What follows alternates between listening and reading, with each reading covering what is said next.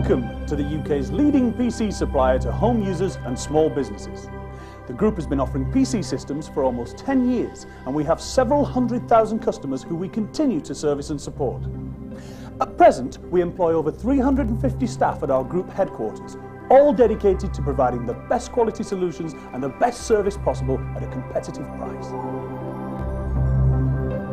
You may be watching this video before you've purchased your PC, whilst you're awaiting delivery of your PC, or after you've received it. We advise you to watch this video in its entirety before you unpack your system.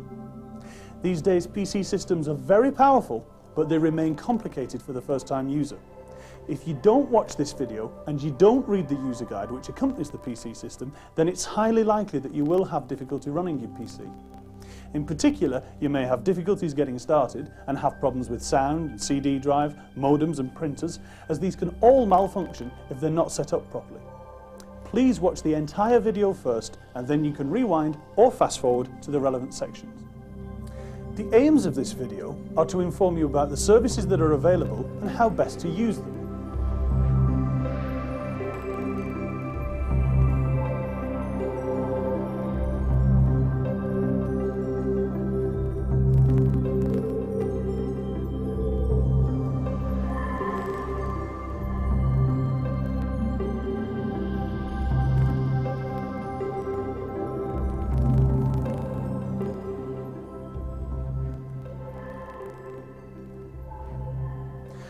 Normally place your order directly with our sales staff. Your order will be processed and your details entered onto our computer system. Details of your payment method and delivery address are taken. And if you're ordering a system on finance, a deposit may be taken and you will be sent credit agreement forms to sign. Now please return these as soon as possible. We can't process your order any further without these. You'll be quoted an approximate delivery time. Normally, this is 10 to 14 days after cleared payment. Please do not chase delivery of your PC prior to 14 working days. Once your order is taken and payment is cleared, your system is picked, configured to your specification, software is preloaded, and the system is burnt in for many hours or even days. Final quality checking ensures that everything is in order. Now normally, if one of the items you've ordered isn't in stock, we would wait and try to deliver the whole consignment as one shipment. However, this is not always possible, and if a peripheral item, for example a software package or a printer, is likely to take a long time, we may deliver the PC system by itself first with that item to follow. The system is sent by courier delivery to your address. If you're not in to receive the system, the courier will leave a note for you to contact them directly. Now when the system arrives, please check the number of boxes and check the boxes don't show any signs of external damage. If you've any problems relating to the delivery of your PC, please contact customer services. And how to do this is covered later on in the video. If you're not in when the couriers arrive with your new PC, they will leave a card and ring the courier's number on the card to arrange for an alternative delivery time.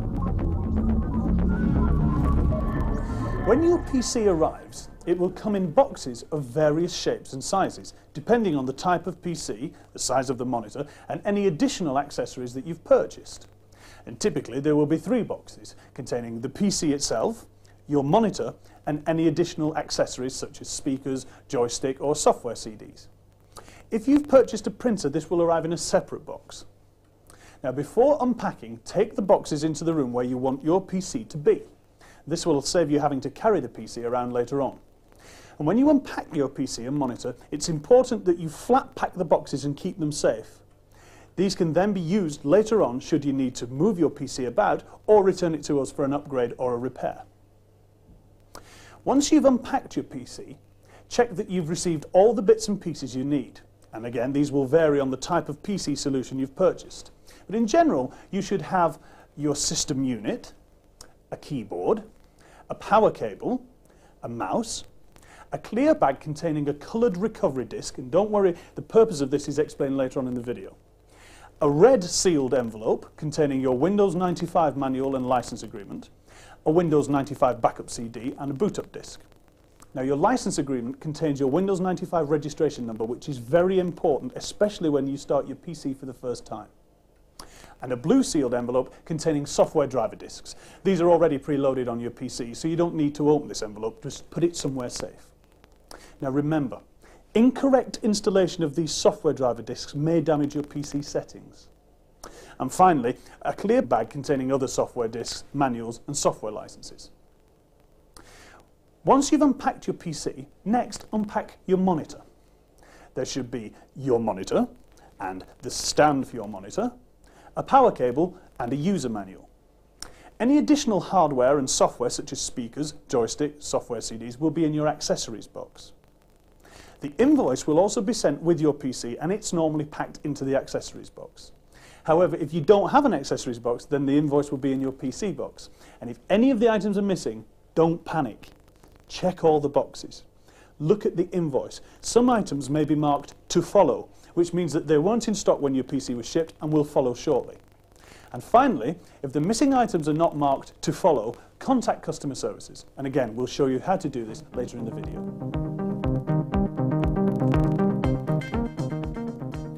Okay, let's go over to Tim. Tim. Thanks, Steve. Before connecting your PC together, it is essential that you read the user guide and Windows 95 manual. Both of these manuals are designed to help you get off to a smooth start with your new PC and avoid doing anything that may damage your new computer. Your sound, CD, modem and printer will not work if they're not set up correctly, so please read the manuals. Once you've read the user guide and Windows 95 manual, you're ready to connect everything together and to start using your PC. Now don't worry, it's not as bad as it looks. The first thing you need to decide is where to put your PC. Choosing the right location is very important. Here are a few do's and don'ts when choosing a location. Choose a hard, flat surface, such as a desk, with plenty of room for all of the system. Ensure that the area you've chosen is well ventilated, and operate your PC at normal room temperature, between 10 degrees centigrade and 35 degrees centigrade. If you have a modem, ensure that the PC is near a telephone point. Do not place your PC in direct sunlight and do not place your PC near a radiator or any magnetic sources. And lastly, try not to operate your PC in extreme moisture or humidity. Right, now that you've chosen the location, it's time to connect your PC together. There are three main types of computer design. Desktop, mini tower, and full tower. If you have a desktop PC, it is convenient to stand the monitor on top of a desktop case.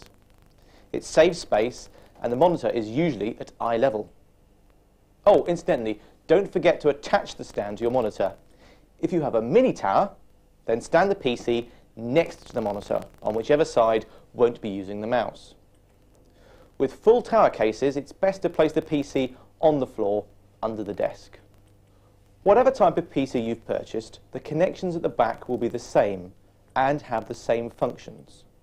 Right, let's connect your system together. Refer to the big Getting Started leaflet that is provided with your system. First, connect your keyboard. Now, connect your mouse to the port labelled COM1. Next, connect your monitor. Now, if you have a sound card, connect your speakers to the sound card.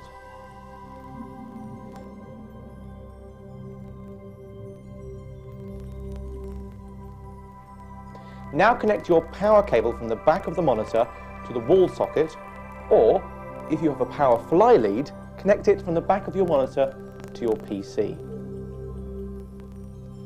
Finally, connect your power cable from your PC to the wall socket.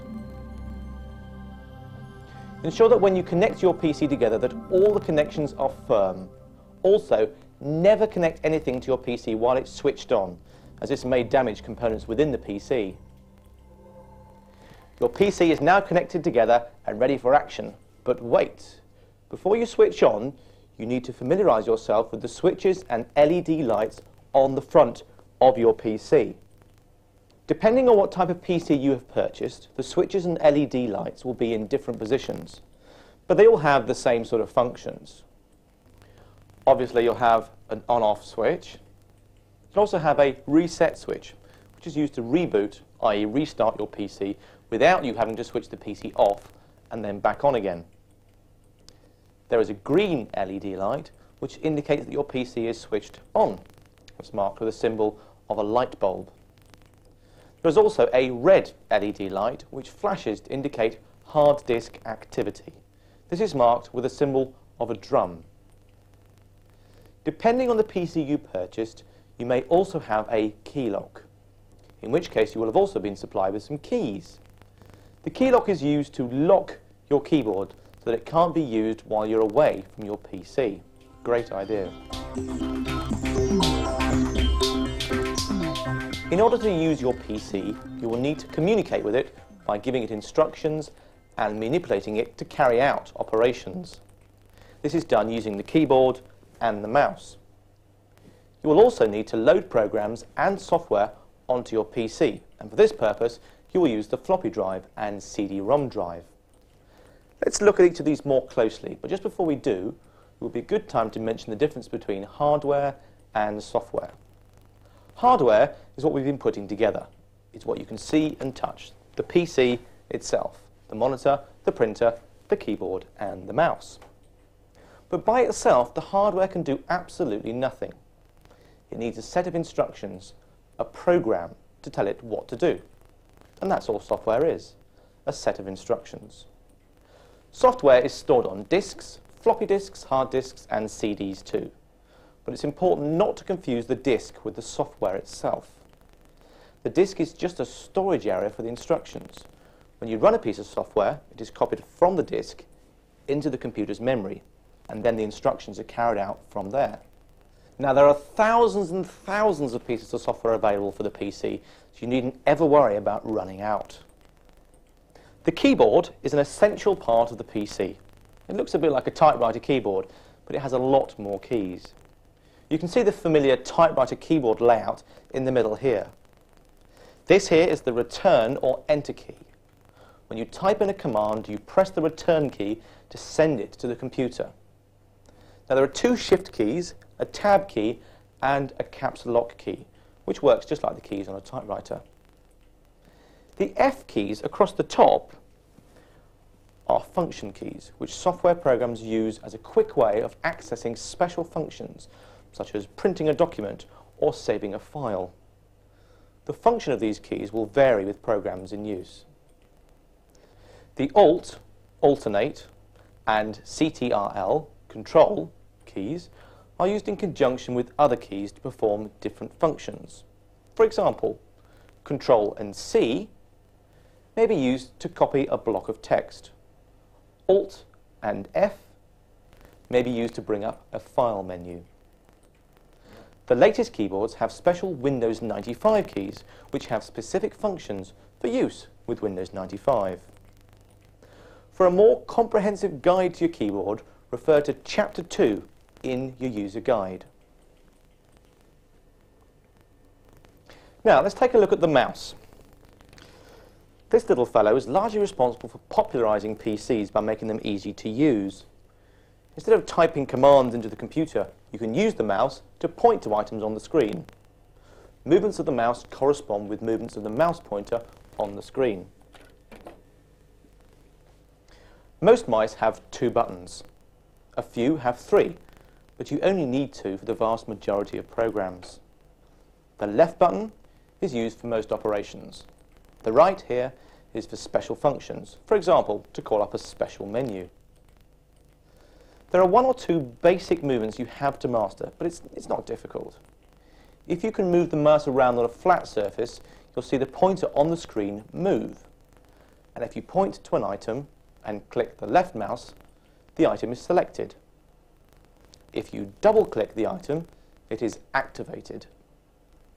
If you place the pointer on an item and hold down the left button and move the mouse, you can drag the item across the screen. And by letting go of the left button, you can drop the item. This can be used, for example, for moving or copying files between folders. Again, for a more comprehensive guide to using the mouse, refer to Chapter 2 of your user guide. This is the floppy disk drive, and this is a floppy disk. These are also used to store programs and data like the hard disk, but they have a much, much smaller capacity. Floppy disk can be used to store your data and to load software onto your hard disk. There are two main sizes of floppy in use, double density and high density. A high density disk has a capacity of 1.44 megabytes, and a double density disk can store around half that. Now you can always tell if a disk is high density or not by this hole in the top here.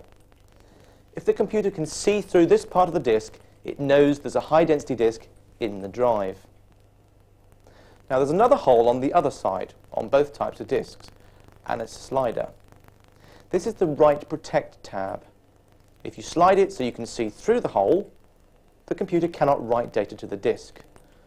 Before you install a piece of software, make sure that the Write Protect tab is open to protect the data on the disk. When inserting a floppy disk into your drive, always make sure that the labelled side is furthest away from the eject button. Now it's important that you look after your floppy disks. After using them, put them away safely in a disk box. Also, keep your floppy disks away from magnetic sources, such as speakers. If you've purchased a CD-ROM drive, it will look similar to this. Usually, they have a tray which slides out where you put the CD. Now, there are many types of CD-ROM drive available, ranging from double speed to 10 speed. CD-ROM drives all have similar features on the front panel. You will certainly have an eject button, and maybe also a play and stop button, which allows you to play audio CDs from the front of the drive. There's also a busy light, which flashes when the drive is reading a CD. Some CD-ROM drives will also have an audio connector for plugging in headphones or speakers, as well as a volume control. When you insert the CD uh, into the drive, make sure that the printed side is on the top, because it's the underside of the CD that the computer reads. The major difference between CDs and hard disks is that you can't write to a CD. You can't save programs or data to it. CDs, therefore, are a read-only medium. A CD can store around 600 megabytes of data, which enables software developers to create gigantic programs containing massive amounts of text and graphical information. Encyclopedias on CD, for example, including images as well as text, and sounds and moving pictures too until it broke up and fell into the river below. When you receive your PC and switch it on for the first time, you'll be faced with the Welcome to Windows setup screen. Now there's no need to panic. The main installation of Windows 95 has been completed back at the factory, as well as the configuration for all your multimedia drivers and software. This post-install setup is just so you, the end user, can finalize the Windows 95 settings, such as your name, registration of Windows 95, printer, etc.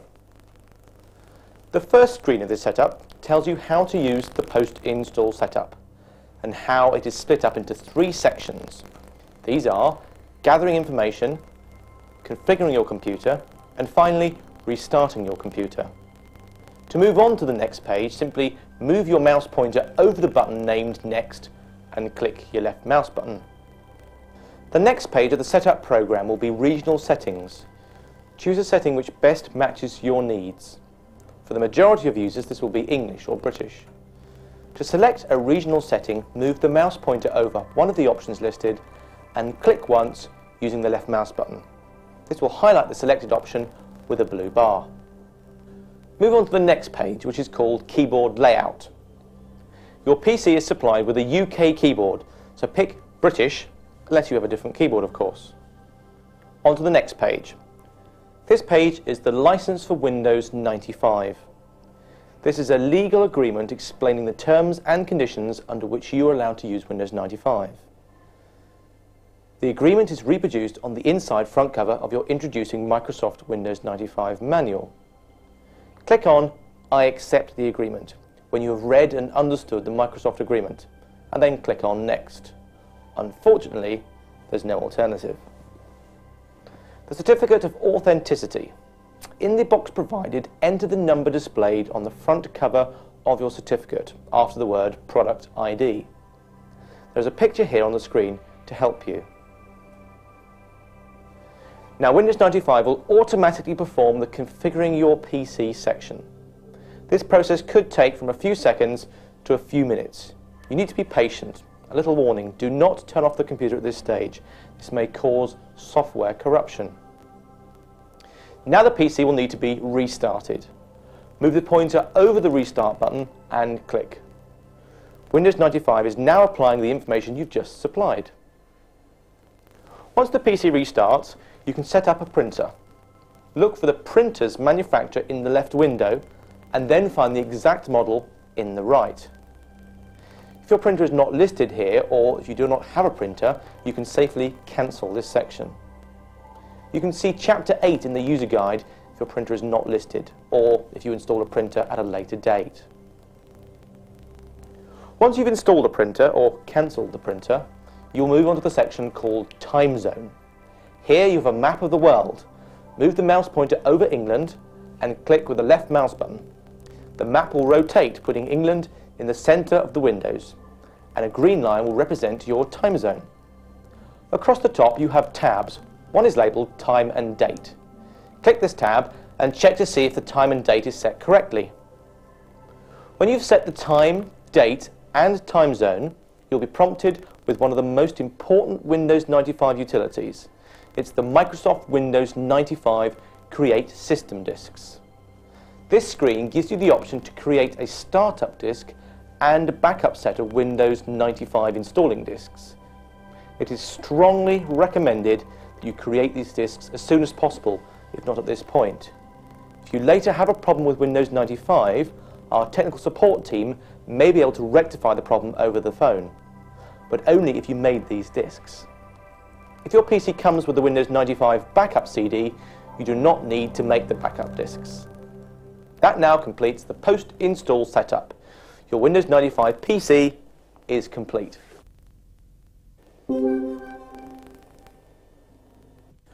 After the post-install setup, you must shut down and restart your computer.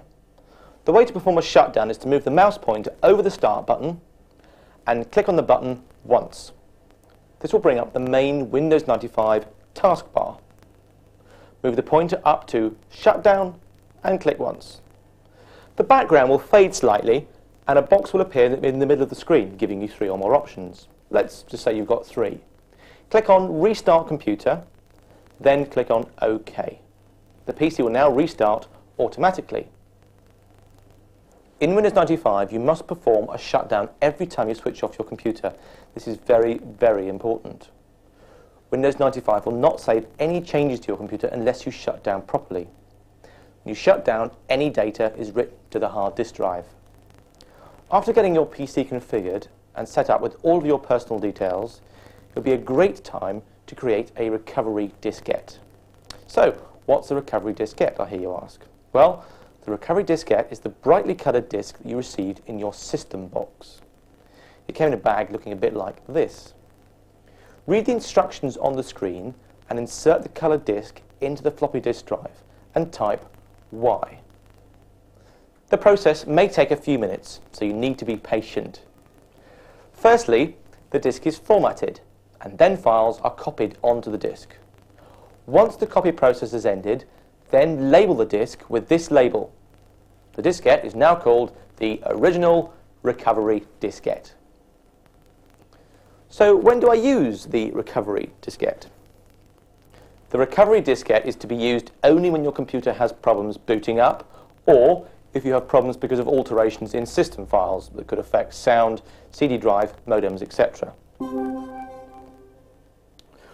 Once you've finished personalizing your copy of Windows 95 and made your valuable recovery diskette, it is recommended that you take backup copies of your preloaded software packages. If you've purchased a backup CD, this step may not be necessary. If you've not purchased a backup CD, then you need to create the individual disks. Disk Master Pro will allow you to create the install disks for all of your preloaded software applications. To use it, click on Start, then move to Programs, and a menu will appear Move on to the menu and click on Disk Master Pro from the list. After a few seconds, the Diskmaster Pro program will load. You'll see a book. Click on the cover of the book to open it and read through the general information and using Diskmaster Pro.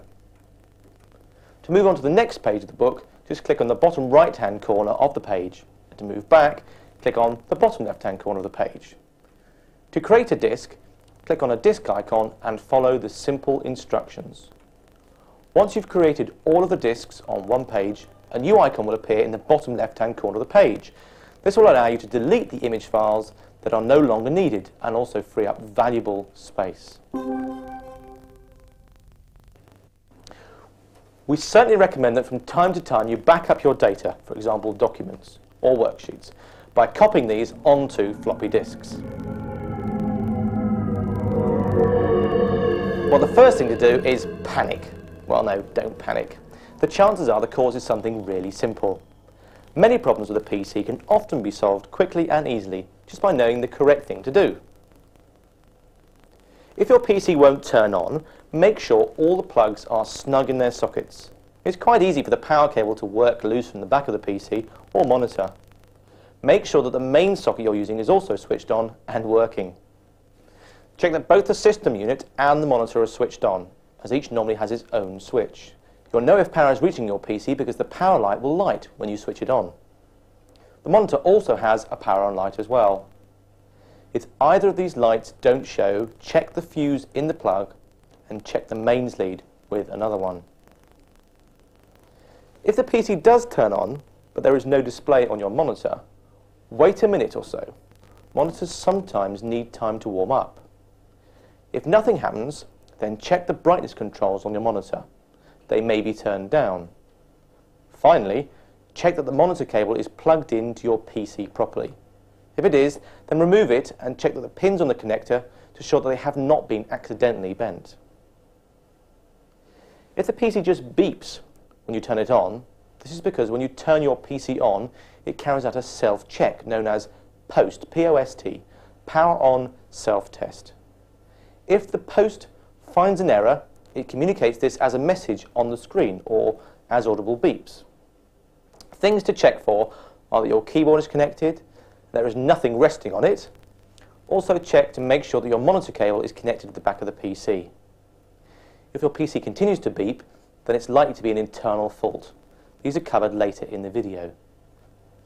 If you get an error message when you turn your PC on, this means that POST, the power on self-test, has found something wrong with your system.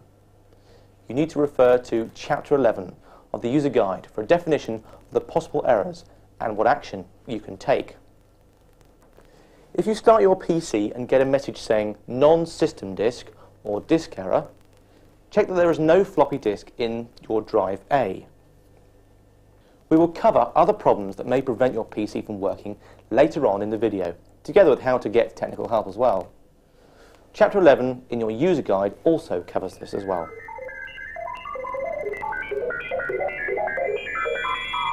It's important you do read the troubleshooting section in the manual and use the recovery disk if necessary before contacting our technical support for help. The manual also lists support numbers for manufacturers of variables and printers, some of whom provide support on their own products. There are two support services available, hardware support, and software assistance service. If your problem is relating to hardware malfunction, then contact hardware support on the number shown towards the back of your user guide. Please do not contact hardware support for minor inquiries, which could probably be resolved by simply reading the manual. When you call, it's likely that your call will be answered by an automatic operator who will direct your call to the service or staff you require. If the service or member of staff you require is busy, then the automatic operator will put your call in a queuing system. If your call is too far down the queue, call back later. Remember, when you call, always take down the first name of the agent you spoke to. Please don't fax or write in with a list of problems. In order to correctly identify the problem, the support staff need to ask you simple questions. The highest priority is given to incoming support calls. Support staff will not be able to reply to written questions or faxes, as invariably this is unlikely to be successful in resolving the problem. over 90% of the calls coming into hardware support are related to the software setup. Typically, the software setup gets altered accidentally or during installation of other programs, resulting in malfunction of sound, CD, modem or other software. Most of these problems can be resolved though by the correct use of the recovery disk. Hardware support will be able to resolve the vast majority of problems on the first call.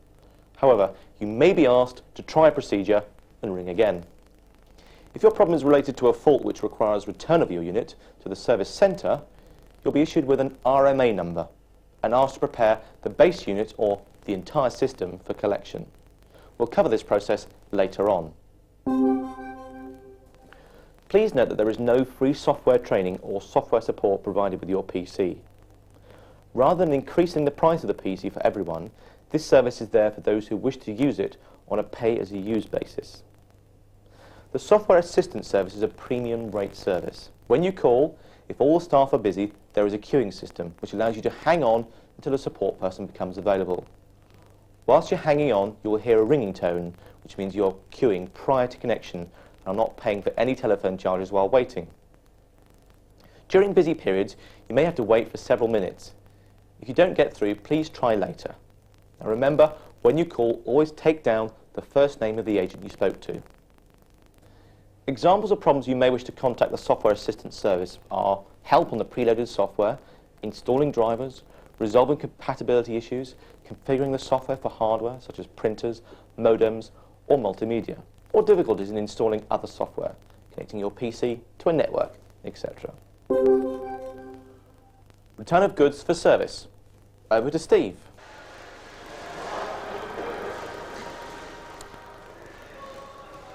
There are three types of repair services available. DOA, which is the product reported faulty within the first 14 days, warranty repair, and extended warranty repair. If you think there's a hardware fault, the procedure with all these is to contact hardware support first. The support staff will try to resolve the problems over the phone. Now, if this isn't possible, they'll ask you to prepare the goods for return to the service centre and issue you with an RMA number, which is the returns authorisation number. Please use the original packaging which you should have kept safe. Use the computer system return form indicating the nature of your problem and write the RMA numbers on the RMA number stickers which were provided with your system. Stick these onto the box or boxes, but don't write directly on the boxes. If faults are reported within the first 14 days, or you've purchased extended warranty, then support staff will arrange the collection at no cost to you if your system develops a fault after 14 days, but within the one year standard warranty period, your system will still be repaired free of charge, but you're responsible for getting the system to the repair centre. In these cases, the hardware support staff can also arrange to collect the system, but there will be a carriage charge. Now, normally, the system will be collected by the courier and returned to the service centre. The service centre staff will log the system, check its contents and its specification, and pass the system to a dedicated engineer who will try to resolve the problems. It's an unfortunate statistic that the majority of product returned for repair is not found to have a hardware fault, but instead a software setup error, which results in malfunctioning of the hardware. If a component is faulty, it's normally replaced, and service staff aim to turn around systems within seven days, but it can take longer during busy periods. Lead times will be given to you when you're issued with an RMA number and priority is given to systems which are within the 14-day DOA period or those with an extended warranty. Customer services will deal with your non-technical general enquiries such as missing items from the delivery, wrong or delayed dispatch, or delays in processing your service repair, refunds and any other issue which isn't sales or technical.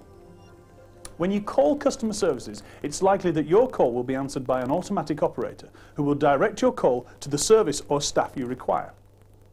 If the service or member of staff you require is busy, then the automatic operator will put your call in a queuing system. If your call is too far down the queue, call back later. And remember, always take down the first name of the agent you spoke to. We do offer an upgrade service where your PC base unit will be collected, upgraded and returned. And details are available from the upgrade sales number which may be shown at the back of your manual.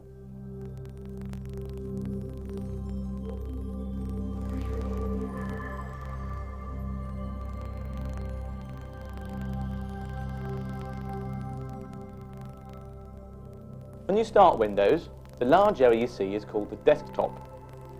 You can customize the desktop by adding shortcuts to your favorite programs documents and printers, and by changing its look to fit your mood and personality.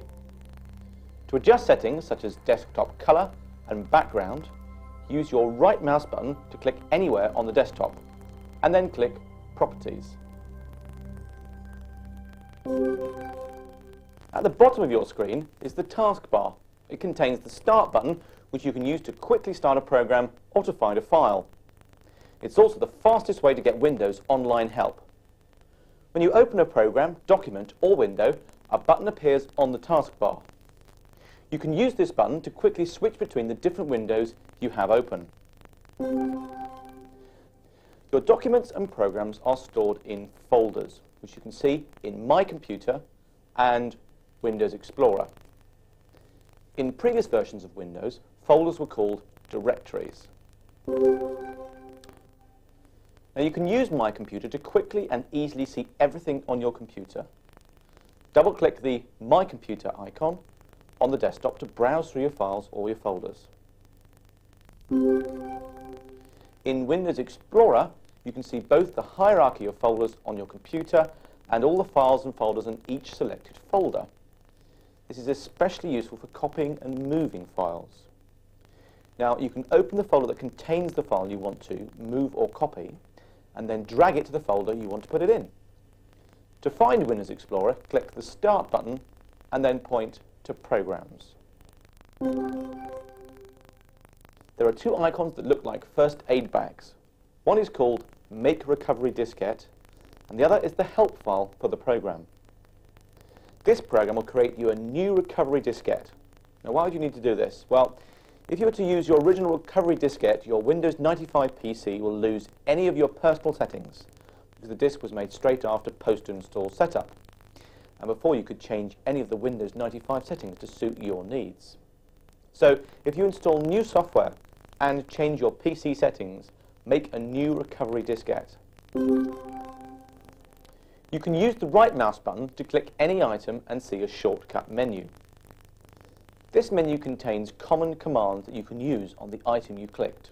For example, by clicking a file with your right mouse button, you can choose to open, copy, or delete it. You can also close, minimize, and maximize buttons.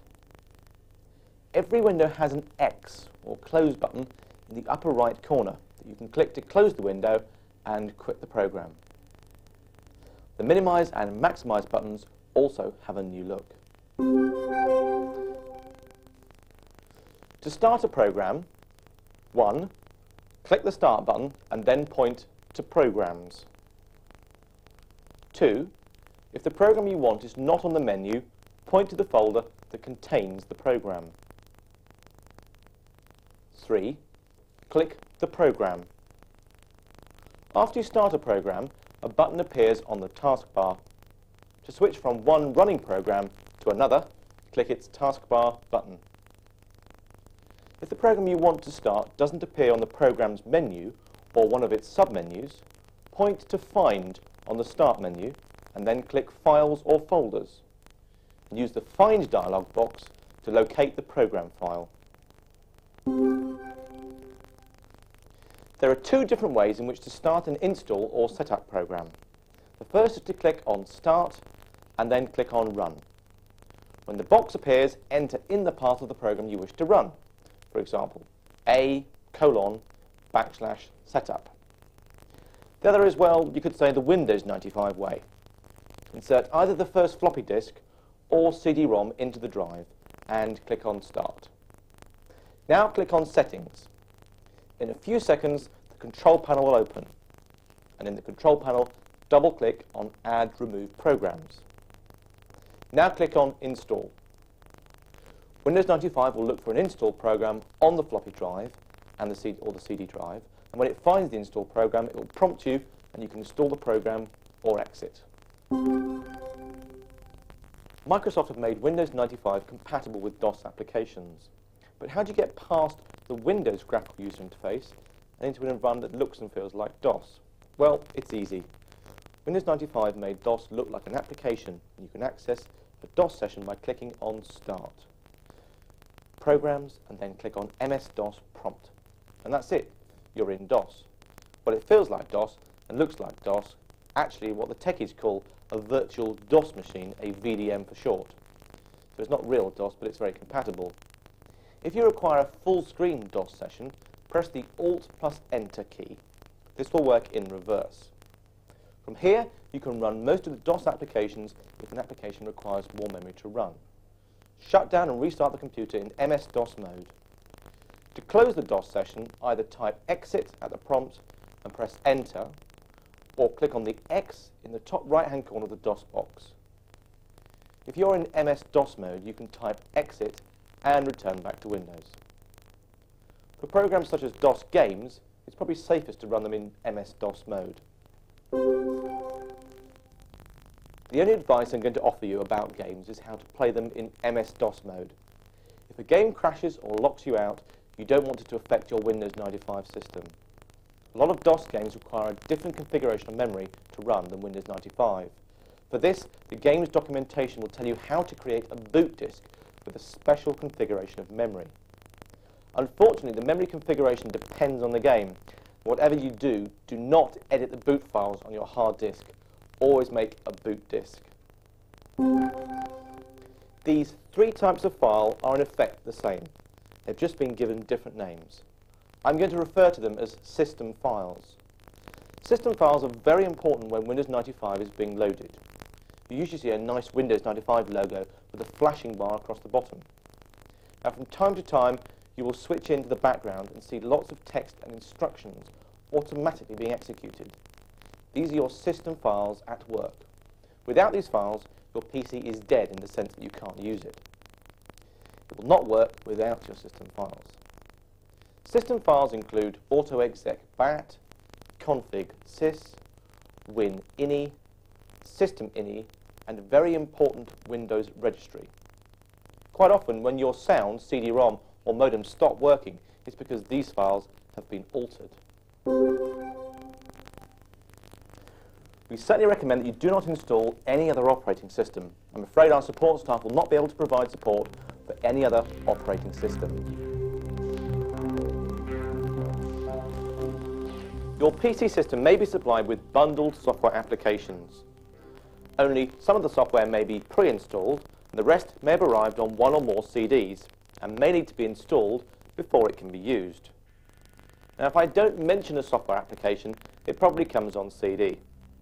Bearing this in mind, the following is a list of applications that may be pre-installed on your Windows 95 PC. Lotus 123 version 5 is a comprehensive spreadsheet. Lotus Word Pro 96 is a revolutionary new word processor. Lotus Approach 96, a very powerful database. Lotus SmartPix Clip Art, copy and paste pictures into your work. Lotus Organizer is the electronic personal organizer. Lotus Freelance Graphics 96 is a visual presentation system this is on certain PCs. Lotus ScreenCam Multimedia Recorder. Now this records mouse movements any number of things for training purposes. This is also on certain PCs as well. Lotus Smart Suite is a powerful tool that organizes your work and desktop clutter, again on certain PCs. GSP Pressworks is a desktop publisher with page pilots for instant designs. GSP DesignWorks Art and Graphics Suite is easy to use and also has page pilots.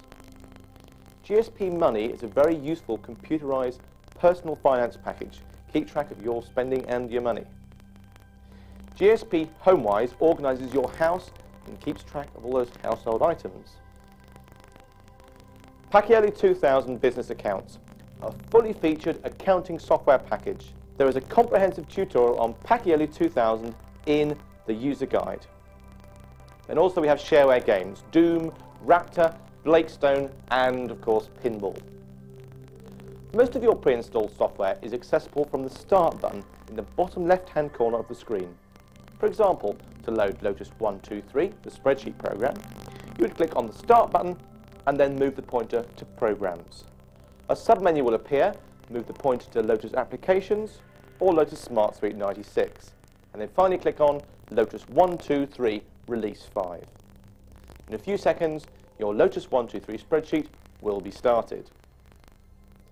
The rest of your pre-installed software can be started in exactly the same way. For more details on the pre-installed software, please refer to your user guide.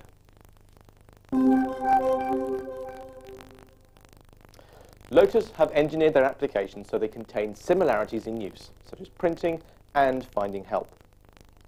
The applications have been specifically written in this way so the user can use all of the Lotus software with the minimum of training. Basically, if you learn how to use Lotus Word Pro, Lotus 123 will be no problem at all. In the same way, Lotus have provided a utility called Lotus Doc Online. These are the actual Lotus application manuals in electronic media. However, if you need the printed manual, you can print out the electronic guides. Now with some software, you may receive a license agreement, with others you may not. But don't worry, the applications have either been pre-installed or are on one of our CDs. Under many agreements with the software publisher, your invoice is both proof of purchase and limited license to use the software. Now, I've very briefly gone over some of the preloaded applications. For a more in-depth explanation, please refer to your user guide. In a previous part of this video, I've talked about the backup CD and the Windows 95 CD. These CDs are to be purchased as optional extras, so they may not arrive with your PC. The backup CD contains the installable versions of your preloaded applications. There's no need to create your install disks.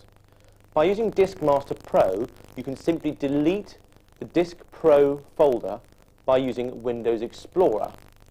Using a right click and then delete this will save you time and also free up valuable disk space. But only delete the folder if you have the backup CD. The Windows backup CD comes with a disk. This disk is only to be used when you need to reload Windows 95 onto your PC. To use the Windows 95 CD, insert the floppy disk into its drive. The PC will start up from the floppy drive and present you with a menu from which you can select your CD-ROM drive and then the Windows 95 CD takes over. Simple. The aim of the CDs is to save you lots of disks and time when it comes to reloading Windows 95 or applications onto your PC. Installing Windows 95 off a CD-ROM could take about 30 minutes, but installing off floppy disk, well, let's just say it takes longer. Installing Lotus Smart Suite's 42 disks. Ouch! Most of you will know what a virus is, but do you know how to deal with a virus if it got onto your PC or floppy disks? Firstly, to kill your virus, you must understand your virus. Most viruses are transmitted in the same way. They attach themselves to files, and once you view, copy, or read the infected files, your clean floppy disk or hard disk gets infected. Now, because they move around so quickly, they're difficult to trace back to the original source. So, how to keep your PC and disks virus free? Well, you may be thinking it's easy, just go out and buy some antivirus software. Well, you're half right. Once you've purchased your antivirus software, you must check every single disk that's inserted into your PC, and also check your PC's hard disk every day. The other point is not to take things for granted. If you ever get files off the internet, friends, or even cover CDs from magazines, scan them for viruses.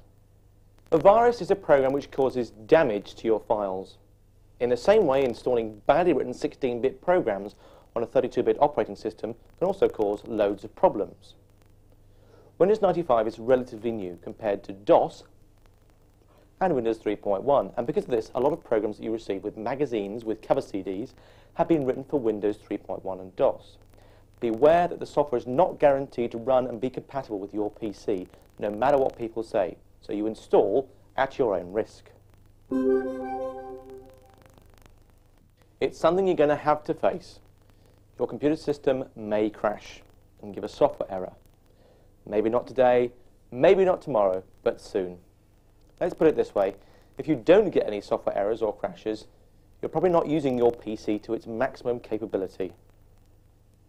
Now, if you've used Windows in the past, you'll be familiar with world-famous general protection fault, called GPF for short. When you run an application and get a general protection fault, you exit Windows, restart Windows, run the same application again, and everything's fine. Let me explain. A general protection fault can happen because of a million different things. Well, the official line is, a general protection fault is caused when the program tries to write into a memory allocation that is reserved for another program. So when you restart Windows and load the same programs, the chance of it occurring again are very slim. Windows is in control of the memory. So if you get a lot of general protection faults, it's possible that your Windows operating system has developed a fault. So the best thing for you is to reinstall Windows and your applications. Many of the 32-bit applications and multimedia games will simply not run on the computers that were selling two to three years ago. Likewise, this PC will run most current software, but it's not guaranteed to run all current or future software.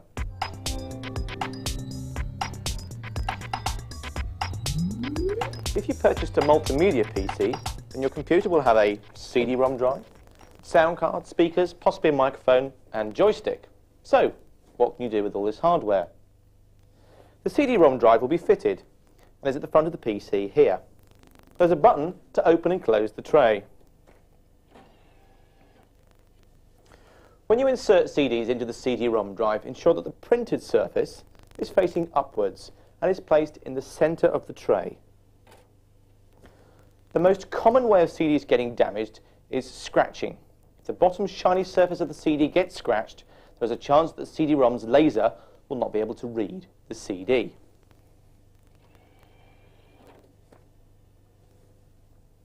Your sound card is at the center of the multimedia system. It's also been fitted back at the factory, so all you have to do is use it. Well, how do you use your sound card? Well, you don't. The sound card is actually automatically set by Windows 95. Games and other applications, all you need to do is to make sure you select that sound card in your game settings. Your joystick plugs into the back of your PC. It's only really used when you're playing games such as Doom. As standard, most game settings are for the keyboard, so you may have to change the settings of Doom and any other games manually. To do this, open up a DOS session, change into the Doom folder by typing cd backslash Doom. Once in the Doom folder, type setup, and this will bring up the setup program. Some games have the setup program in the game itself, such as Blake Stone. Now, speakers. These always confuse me. The thing to remember is they link together. One cable goes into the sound card, usually the top hole. This is usually connected to the right speaker. And then from the right speaker, you have a cable that goes to the left speaker. And that's basically it. To use the volume control that's on the speaker, you must have some power going into them. This is either supplied by batteries or a power adapter which plugs into one of the speakers. These are not normally supplied with the speakers. In the same way, the microphone also plugs into the back of the sound card, like this. Windows 95 has built-in multimedia support. It comes with CD player, media player, sound recorder, and volume control. I'll quickly run through each one of these utilities. They're not difficult to use, and Windows 95 has endless help regarding these programs. You can use CD player to play audio compact discs from a CD-ROM drive connected to your computer. This means you can listen to your favourite music at the same time as you work on your favourite spreadsheet. The media player can be used to play video clips, MIDI and WAV sound files, and many other sound or visual files. The sound recorder, well, for this you must have a microphone plugged into the back of your sound card. You can record sounds such as your voice or your dog barking and then play it straight back. Well, the volume control, well, does exactly what it does. controls the volume. Now then, you're probably wondering, this is all great, but how do I access these programs? Well, Windows 95 makes everything easy. You simply click on Start, and then Programs, Accessories, and finally Multimedia. And there they are. Simply click on the one you want. If you have problems with any of the Windows multimedia applications, the best thing for you to do is to reinstall. This may sound like a big job, but it's rather quick and easy to do. For this, you must enter the Control panel, double-click on Add Remove Programs, click on Windows Setup, Here you have lots of Windows applications and utilities listed. It's from here you have to remove and reinstall sections of Windows 95. Move down the list until you come to Multimedia. Next to it, there's a box with a tick in it. Remove the tick by clicking on the box with your left mouse button. You're now removing the multimedia applications of your PC. Click on OK and then close. Now restart your PC and do exactly the same, but this time highlight the multimedia sections and click on Details. Put a tick next to each one of the programs listed and click OK. Your PC will again need to be restarted so the changes can take effect. Performing this simple operation of removing and then reinstalling applications fixes most software problems related to multimedia.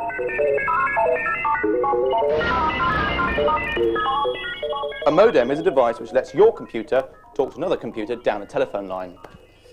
With the correct software, you can send faxes, surf the net, and connect to information systems such as bulletin boards or BBSs. The modem is what makes the super information highway possible.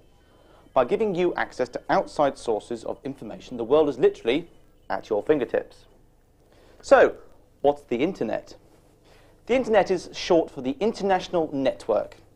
It's a global connection of thousands of computers all linked to each other. You use your modem to dial into one computer, and from there you can branch out and contact the others. You can download or transfer software from a remote computer to your own and access information on virtually any topic you can think of. You can also communicate with other users all over the world. There are two main types of modems available, internal and external. Internal modems are fitted inside your PC and you can see them when you look at the rear of your PC. You attach one end of your modem cable to the connector marked line and the other end to your telephone socket. External modems are separate boxes which connect to the port at the rear of your PC marked COM2 and need their own power supply. The external modem is connected to your COM2 port using this special cable. You also need to connect your modem cable from the modem connector marked line to your telephone socket. Now there's quite a bit of jargon attached to modems. Modems are described by the speed at which they operate. The faster the modem, the more data they can transfer in a given time. Currently, transferring computer information over the telephone line is quite slow, so you really ought to buy the fastest modem you can afford. The standard modem is rated at 14400 BPS a measure of its data transfer rate, but the faster ones operate at 28,800 bps. The shorter you're connected or online, the lower your phone bill will be, so you'll save money in the long term you use the internet a lot. Internal modems are fitted and configured before you receive your PC, and are therefore ready to use when you turn your PC on. External modems are supplied separately with your PC and need to be configured before they can be used. We'll now cover setting up both internal and external modems, because it has been known for customers to accidentally remove their internal modem settings. Firstly, let's go through how to set up an external modem in Windows 95. Click the Start button and select the Settings menu. Then select Control Panel. And now double-click on the Modems icon. Now, Click on the Next button, and Windows 95 will try and detect your modem for you. It's recommended that you let Windows 95 detect your modem.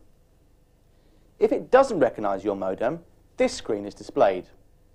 Click on the Next button, and Windows 95 will give you a list of modems to select from. Now select the modem you have and click on the Next button. Either way, Windows 95 will ask you to select a communication port for your modem to use. For external modems, use COM2, because your modem is connected to this port on your PC. Windows 95 then shows you this screen, telling you that you have successfully set up your modem.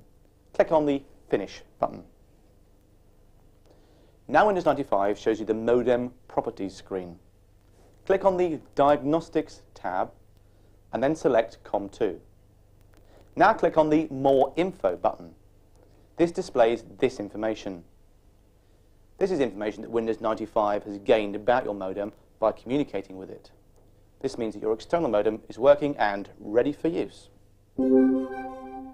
Now you can set up your internal modem. Click the Start button and select the Settings menu. Now select Control Panel and then double-click on the Modems icon. Next, click on the Next button and Windows 95 will try and detect your modem for you. It's certainly recommended that you let Windows 95 detect your modem for you. If Windows 95 does not recognize your modem, this screen will then be displayed. Click on the Next button and Windows 95 will give you a list of modems to select from. Select the modem you have and click on the Next button. Either way, Windows 95 will ask you to select a communication port for your modem to use. For internal modems, use COM4. Windows 95 then shows you this screen telling you if it's successfully set up your modem. Click on the Finish button. Now Windows 95 shows you the modem properties screen. Click on the Diagnostics tab and then select COM4. Now let's click on the More Info button. This displays the following screen. And this is information that Windows 95 has gained about your modem by communicating with it. This means your internal modem is working and ready for use.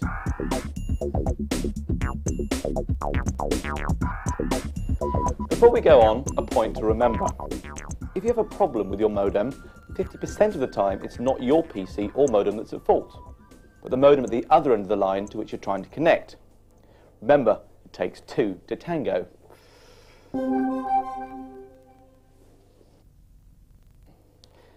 If there's a fax modem in your PC, you'll notice an application opens up every time you start Windows 95. This is the Windows inbox. In order for you to send or receive faxes, Microsoft inbox needs to be open. Back at the factory, most of the configuring for the inbox has been done for you. All you need to do is to change the telephone number. To change the settings of the inbox, you must have it open. Click on the taskbar to switch to the inbox, or if you've closed it, double-click on the icon located on the desktop here. Click on Tools and move the pointer down to where it says Microsoft Fax Options and a submenu will appear. Move into the submenu and click on Options. From here, the option box appears. Click on the tab across the top labelled User. From here, you can change your personal settings on the Microsoft inbox. Sending a fax in Windows 95 is very easy. Firstly, you need the inbox open, and then move the pointer to Compose at the top and click. A pull-down menu will appear. On the menu, there are a few options. One is New Message, the other, New Fax. The New Message option is for mail messages. This is only ever used on a Windows 95 network. Click on the New Fax option. After a few seconds, the Compose a New Fax wizard appears. The first screen is if you're using a portable computer. So you could tick this box and the screen will not appear next time. Then click on Next. Here, fill in the relevant details. Once you've filled in all of the blanks, click on Next. This screen asks if you wish to send a cover page, and if you do, which one. Let's select Urgent, and now click Next. Fill in your fax message here, and once you've done so, click on Next. If you wish to attach a file to your fax, select the file at this point by clicking on Add File. Then click on Next, and now click on Finish, and your fax will be sent. Imagine a small network of computers talking to another network of computers, talking to another network of computers, talking to another network of computers, talking to another network of computers, and so on and so on for a very long time. That's basically what the internet is, a very, very, very, very big, huge, massive network of computers, and I'm not kidding. Well, this all sounds great, but how do you actually get on and become part of the internet? Well, there are endless internet providers you can use, such as CompuServe, Pipex Dial, America Online. The list is endless. Basically, your internet provider gives you a service. They let you have an internet address so people can send you mail. And they also let you have a data storage space on their file server so your hard disk doesn't get too full up. This is all for a set subscription fee every month. With most internet providers, they'll supply you with a disk, like CompuServe for example. You simply install the disks onto your Windows 95 PC, and when you start the CompuServe program, it will ask you to fill out a registration form online. They will hook you up immediately, and they usually give you a free trial period, so you can test the internet and see if you like it before you pay anything. So, this is how it works. Let's say you live in London, and you ring your local internet provider. Let's say it's Pipex Dial. So remember, it's a local call to the Pipex Dial file server. The Pipex Dial file server will then ring any address you give it. For example, I could log into the Pipex Dial file server and from there tell the file server that I want to look at Microsoft. The Pipex Dial server will log in to the Microsoft server in America and then hook me up to that server. Remember, I'm only paying for a local call.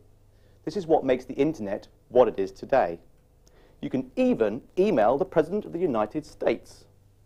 It's just like sending a letter, only you get a quicker response. Because modem problems can be troublesome, we'll look at some common problems and their solutions. Problem. I can't send a fax using my modem. Solution. Make sure Inbox has been correctly set up and Microsoft Fax has been installed correctly. To install Microsoft Fax, select Settings, Control Panel, Add Remove Programs, and then select the Windows Setup tab. Now scroll down to the Microsoft Fax icon and place a tick in the box by clicking inside it once and select Apply. Microsoft Fax will now be installed. To set up Inbox, refer to Chapter 8 in your user guide for more details. Problem. I can't receive a fax on my computer. Solution. Make sure Inbox is running in the background. And if the problem persists, check to see if Inbox has been set up to receive a fax. Refer to the section on Setting up Inbox, again, Chapter 8. If you have a problem with your modem, check to make sure that the modem at the other end of the line you're trying to connect to is also working as well. There is a modem number which you can dial that has been set up to allow you to test your modem if they think it's not working. Please refer to the modem section in your user guide for more details and the number to dial. If you want to print out documents or pictures, you'll need a printer. There are three types of printer in common use, dot matrix, inkjet and laser. Now they all offer different levels of printing quality, with laser printers probably being the best. Once you've unpacked your printer, taking care to remove all sticky tape and foam paddings, you'll generally have the following. Obviously, your printer, a printer cable, if you bought one, a power cable, and your printer's instruction manuals. In addition to that, you'll have software drivers for your printer on floppy disk or maybe on CD. Whatever type of printer you have, they all connect to your PC in much the same way. You connect your printer to your PC using the printer cable. Plug one end of the cable into the printer and the other into the port at the rear of your PC marked LPT1. The two ends of the cable are different, so there's no danger of getting it the wrong way round. In order to use a printer, a software driver is needed. This is usually supplied by the printer manufacturer on floppy disk or CD. And if your printer is a very popular make, the printer drive will also be present in Windows 95. Let's see how we set up a printer in Windows 95. 1. Click on the Start button and from the Settings option, select Control Panel. 2. Select the Printer icon and double-click. 3. The Add Printer Wizard will be activated. Click on the Next button. 4. From the list of printers, select the make and model of your printer and then click on the Next button. If your printer doesn't appear in the list provided, it's quite likely your manufacturer has provided a printer driver disk or CD specially designed for Windows 95. Insert the driver disk into the floppy drive and click on the Have Disk button. Now follow the instructions which Windows provides for installing drivers from a floppy disk. 5. If for some reason your printer drivers do not exist on the list provided by Windows 95, and your printer manufacturer has not supplied you with printer drivers for Windows 95, then you should contact your printer manufacturer. Some telephone numbers are provided of common printer manufacturers in Chapter 12 of your user guide. Once Windows recognises your printer, you'll be prompted for the port on which to install your printer. Select LPT1 printer port and click on the Next button. 6. Windows will now prompt you to enter the name of your printer. You have an option to enter a new name or keep the one provided by Windows. Select the Yes option to make your newly installed printer the default printer for all of your Windows-based programs. 7. Select the Yes option if you'd like Windows to print a test page, and then click on the Finish button. It's recommended that you select the Yes option as this will verify whether or not your printer has been set up correctly. Windows will now install your printer drivers and set up your printer. It'll also print a test page if you answered yes when Windows prompted to print a test page earlier. 8. Click on yes if a test page has been printed. Your printer should now appear in the printer's window. If a test page was not printed, then select the No button and Windows will try again. If on the second attempt the test page hasn't been printed, then check that your printer is switched on and online. Also check there's at least one sheet of paper in the printer. If your printer doesn't respond, even after meeting the above conditions, try installing the printer again. If it still doesn't print, then there may be a problem. Let's discuss these now. If your printer won't print, try the obvious solutions first. Make sure it's plugged in, switched on, and the cable is firmly connected at both ends. Make sure also that the printer is online. You haven't accidentally pressed the offline button.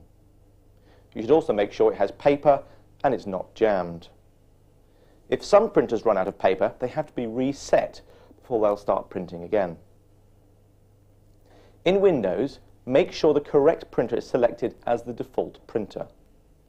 You'll find that Windows 95 contains a lot of information in the form of online documentation, and it's very important you use this information because it could save you a lot of time.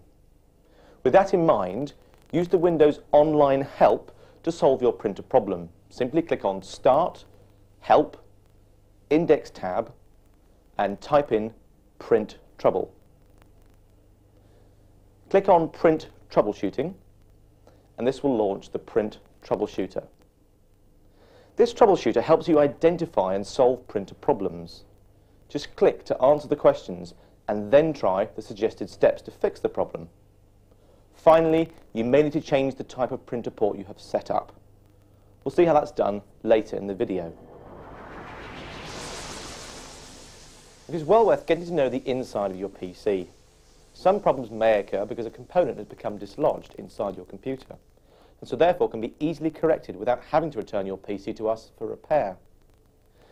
Please remember that not all hardware available today is compatible with your PC, and we do offer a list of popular upgrade products that have been tested and also offer an in-house upgrade service which does not void your warranty. To look inside your PC, firstly you need to remove the cover. Whatever design your PC is, desktop, mini tower or full tower, the cover is held by a number of fixing screws. But wait! Before you attempt to remove the cover, ensure that your PC is turned off and unplugged from the mains. Now, to remove these screws, you'll need a Phillips screwdriver. Looks complicated, doesn't it? in fact, it's not that bad. All PCs have similar components. The motherboard contains the main electronics of the computer and is the part to which all the main hardware items in the PC are attached. The Central Processing Unit, or CPU, also known as the processor, is the brain of the computer, and all of the computing work is handled by this CPU. The Random Access Memory, or RAM, is used by the PC to store instructions and data temporarily while it's working. RAM is measured in megabytes, MB, and comes on single, inline, 72-pin memory modules, or SIMMs. These are plugged onto the motherboard in pairs. Here we have the hard disk drive. This is where the PC permanently stores all of its software and data. The capacity of the hard disk is measured in megabytes again. The 3.5-inch floppy disk drive lets you exchange data and software between your PC and, of course, floppy disks. The CD-ROM drive is an optional device which may be fitted to your PC. It allows software to be installed and used faster than from conventional floppy disks. The power supply converts the main supply into voltage that powers the motherboard and other hardware components inside your PC. These here are the expansion slots, and these are used to plug in additional cards such as modems, network adapters, and sound cards. This guy here is the graphics card. This may be on an expansion card or may be integrated into the motherboard. The BIOS setup program is stored on the computer's motherboard in a ROM BIOS chip. The BIOS setup is a program that controls and configures your PC's hardware. It's a permanent record of the system configuration and is always there, even when your PC is turned off. PCs may come equipped with a BIOS from one of several software companies, depending on the system you've purchased. The information about what BIOS your computer has appears on the screen when you turn on the computer and is also detailed in the motherboard manual supplied with your system. Now you may access the BIOS program when your PC is booting up. A message is displayed on the screen for a short while and then disappears. Depending on the type of BIOS you have, this message and method of access into the BIOS program will certainly vary. During boot up, the BIOS checks the record created with the setup program. If it discovers a problem with your system's hardware, a message will appear on the screen asking you to enter the setup program and correct the information there. Many setup options are highly technical in nature and should be changed only by knowledgeable users or service professionals. Do not reset any setup values on your PC unless you understand the consequences of the changes. The BIOS setup program is usually run when setting the date and time on your PC, setting security controls such as passwords, remember write it down and keep it safe, setting power conservation features, setting the type of parallel port you have, e.g. SPP or ECP or EPP, this is sometimes necessary if your printer won't print anything. And then setting video memory to 2 megabyte. This only applies, of course, if you have an integrated graphics motherboard using UMA and at least 16 megabytes of RAM.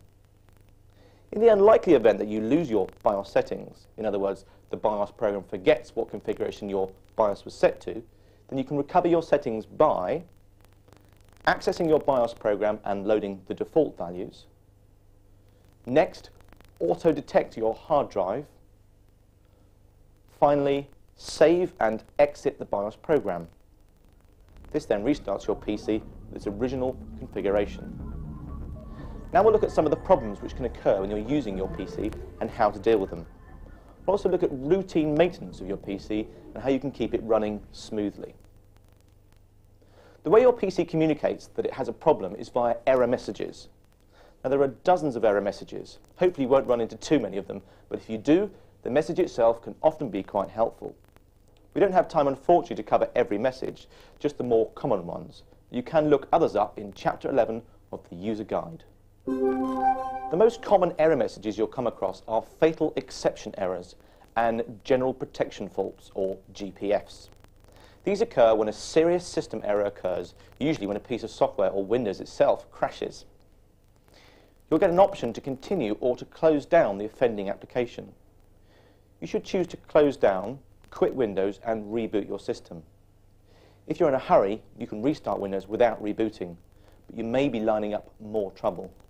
Sometimes, even though the option to continue is there, it has no effect.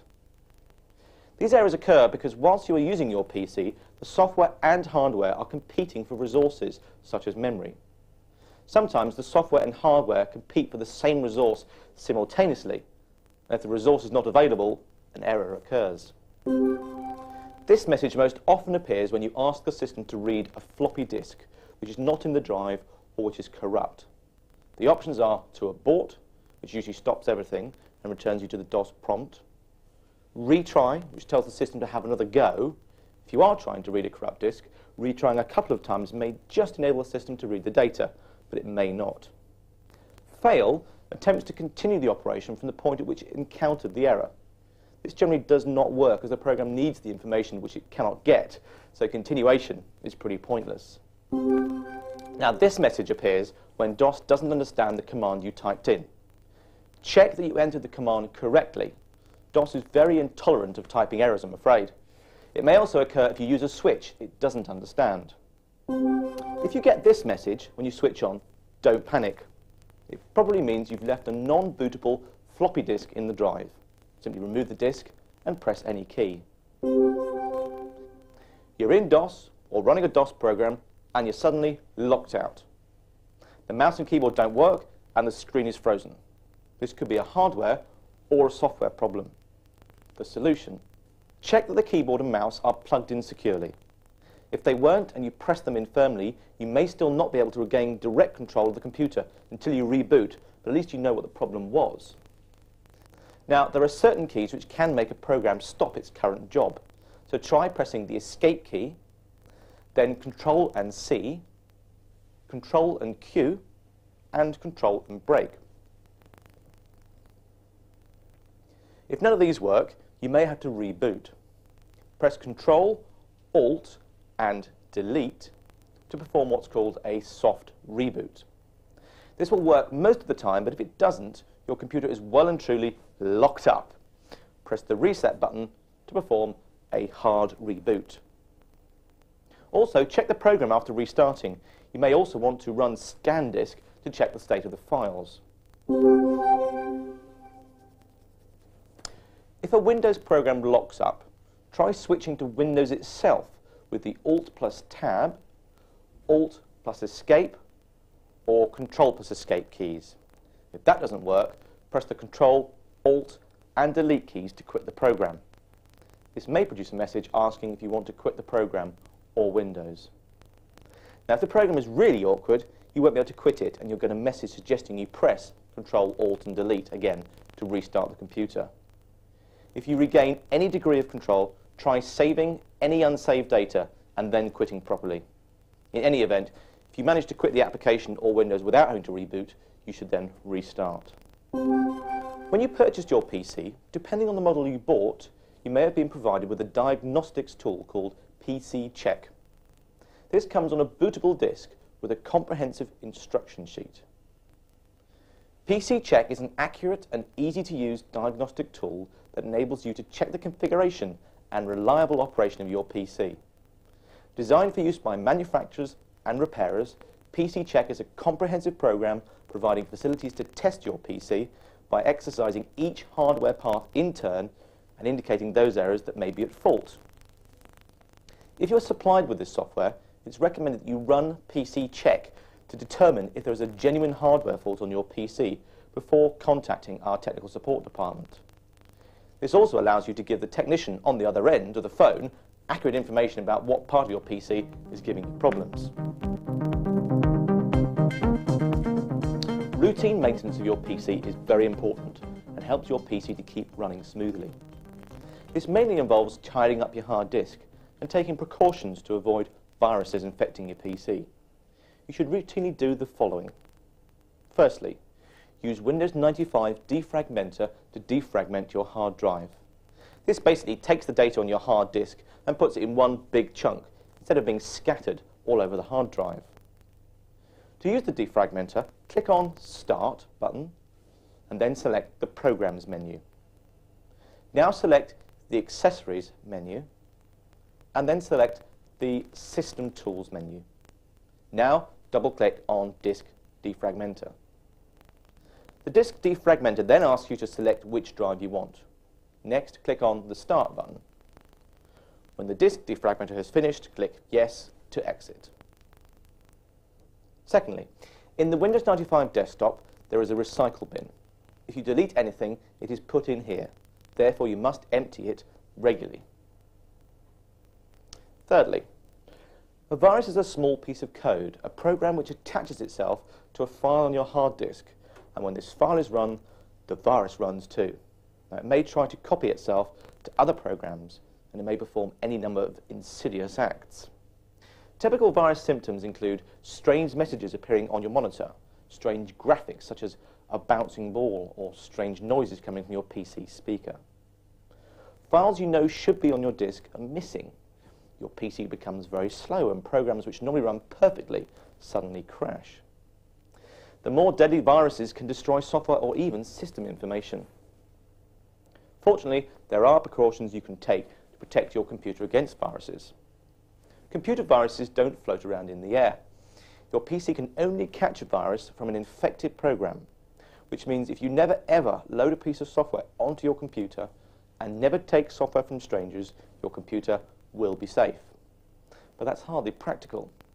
You can guard against viruses by running an antivirus program. And there are several on the market. Also, never load anything onto your PC before you've checked it for viruses. When you have any Windows 95 problems, insert the recovery diskette into the floppy drive and restart your PC. The PC will automatically start loading from the floppy drive and load the recovery diskette menu. Note that this is slower than starting up from your hard disk drive. The recovery diskette menu contains eight options. The best and most effective ways to use the recovery diskette is probably enter on option 1 and work your way through to option 5. So, the eight options are as follows.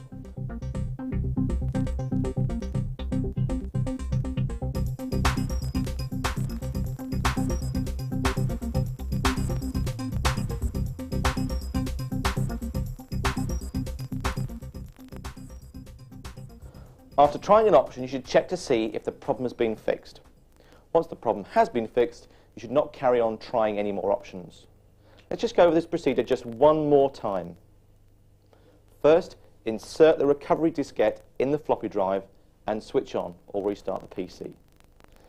Then, choose option from the list. First try option 1. Remove the diskette when prompted to do so and then restart your PC. Check to see if the problem's been fixed. If the problem has been fixed, then carry on using your PC as normal. Do not try any more options. If the problem hasn't been fixed, then repeat number one above and choose the next option from the menu. Now, if you make software changes to your PC, it's recommended that you run the Make Recovery diskette. This program is on the Windows 95 screen. Along with this is a help file. Double-click on the help file for more information on the recovery diskette. If your PC has a Windows 95 system problem, the first five options of the recovery diskette will probably fix it. If the problem is in our preloaded software applications, there is one more option you can try on the recovery diskette. This is option 7, Restore Master Image. Let me explain what this option does. Imagine a copy of your software stored in one big file. This is a mirror copy of your hard disk's data and was made at the factory so the data in this file is untouched. If you were to run option 7, the first screen you will see is a warning. This warning is basically telling you that you must back up all of your personal data before running the Restore Master Image program.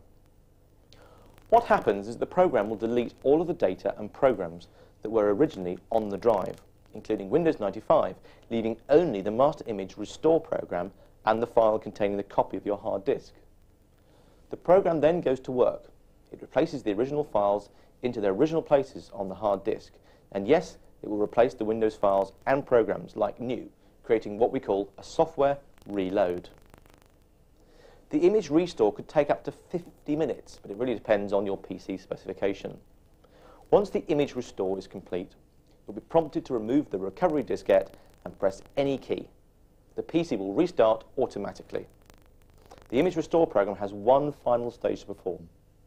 It will enter Windows 95 and automatically run a program that will restore all of the Windows 95 long file names. After this, you need to shut down and restart. And there you have it, a brand new software reload without the PC having to be sent back to us. I know that this option sounds a little bit drastic and you might hesitate, but it is probably the most effective way to zap your software problems and can be used time and time again. This option is only on our special selected range of PC. If you do not have the files needed to run option 7, the recovery diskette will not delete any files until the files needed are not present.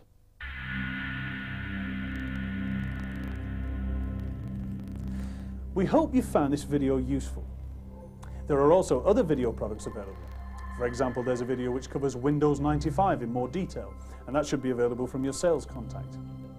If you have any suggestions on how this video could be improved, or any other feedback on our products and services, please indicate these on the pre-postage paid customer registration card, and send this card to us after a few weeks of using the new system. We value these comments, and we'll try to incorporate your suggestions into products and services. So from Tim, Bye. and from me, until the next time, goodbye.